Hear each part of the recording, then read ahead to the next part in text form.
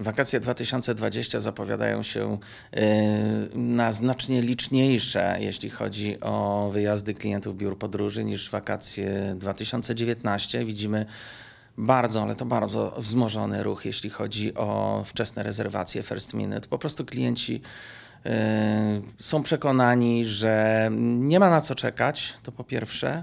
Po drugie, że ich pieniądze są bezpieczne. Po trzecie, że lepszych cen nie dostaną. I trzy takie czynniki y, powodują, że jest duży wzrost y, ruchu i duży wzrost sprzedaży.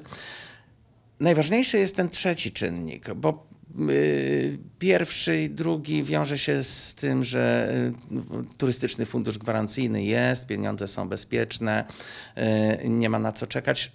Trzeci czynnik to jest y, gwarancja najniższej ceny. To jest to, co powoduje, że turyści wiedzą, że nawet jeśli teraz kupią wakacje i jeśli one stanieją, to oni tą różnicę dostaną z powrotem. W związku z tym y, taki właśnie mamy do czynienia z takim zjawiskiem. Ceny wycieczek wzrosły mniej więcej o 7% w stosunku do tego, y, co było w zeszłym roku, więc jeśli niecałe 2400 zł kosztowały przeciętne wakacje w 2019, to teraz one kosztują jakieś 2,650. Jeśli chodzi o preferowane kierunki, to w pierwszej dziesiątce absolutnie nie ma żadnej zmiany.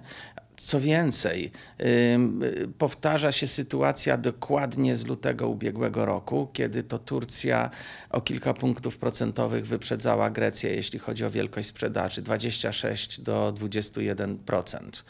Y, I już w zeszłym roku byliśmy przekonani, że będzie to ostatni rok, kiedy Turcja siedzi na fotelu królowej. Mamy dokładnie taką samą sytuację. Trudno ryzykować takie stwierdzenie, że w tym roku to się stanie, ale jest to znowu bardzo prawdopodobne.